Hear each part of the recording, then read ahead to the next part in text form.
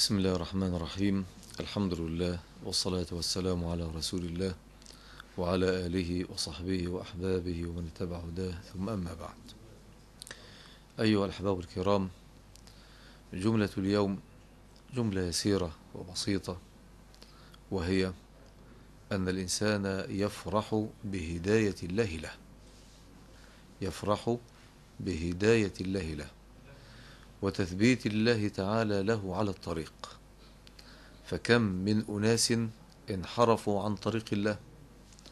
وكم من أناس لم يوفقهم الله تعالى إلى هداه؟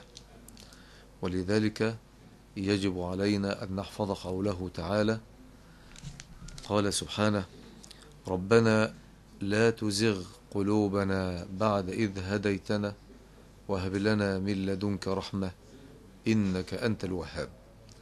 ربنا لا تزغ قلوبنا أي لا تحرف قلوبنا بعد أن هديتنا فوفقتنا إلى هذه الهداية وهب لنا من لدنك رحمة إنك أنت الوهاب. اللهم أمين اللهم أمين وصلى الله وسلم وبارك على نبي الأمين وأصحابه الميامين إلى يوم الدين.